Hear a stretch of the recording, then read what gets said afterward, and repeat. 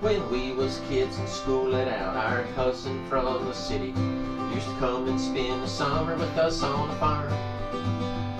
We'll never forget that year that he got into the poison ivy. Had no idea what caused him so much harm. Me and my brother told him he would grow if he eat a lot of green apples. That's how he come down with a backdoor trot. We was down on the creek a fishing when he grabbed his belly and dived in the weeds. That's where he found that poison ivy patch. Poison ivy. Now he knows what it looks like. All summer he laid in the shade and he couldn't even ride his bike. That day on the creek when he cleaned himself, thought it was weeds and grass.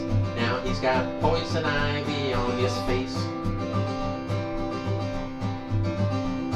He blamed the whole thing on us, and me and my brother thought it was funny. And he told on us, we both got a switching. But it was worth getting in trouble for, cause we couldn't quit laughing. Watch him scratching in those places he was stitching. Poison ivy, now he knows what it looks like. All summer he laid in the shade and he couldn't even ride his bike. That day on the creek himself, thought it was weeds and grass. Now he's got poison ivy on his face. Well, summer slowly passed by, and our cousin's getting better. Well, our moms have used a gallon of calamine.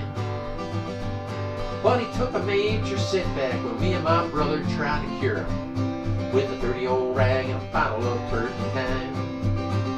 Poison ivy, he knows what it looks like. All summer he laid in the shade and he couldn't even ride his bike. That day on the creek when he cleaned himself, thought it was weeds and grass.